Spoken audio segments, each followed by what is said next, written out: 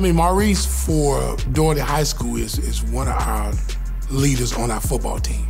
Uh, he's a very, very special young man. Uh, he's one of those guys that have worked himself up to be where he is today. He has dedicated himself to the weight room,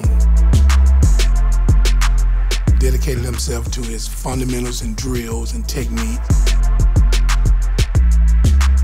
Just very, very thankful to have great coaches that have poured into him.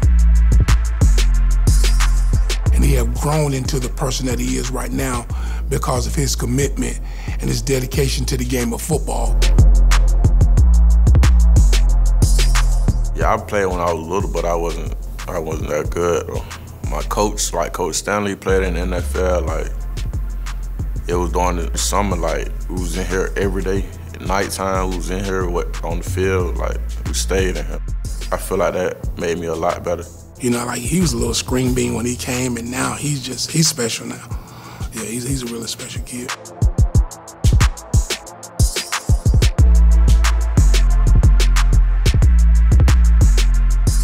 I feel like studying your opponent is like a big thing because like if you study your opponent, you know what he gonna do. That play, this play, that play, and, and when you in the game, like you on all of that. Like whatever he doing, you already one step ahead of that. I feel like I'm slowly becoming like a leader. Everybody looking up to me, all the young guys. But being a leader, I make sure everybody on the team like stay in the right path, keep their head on right. I just enjoy seeing him come off the ball with his quick hands and using his fundamentals and technique, which is very, very special.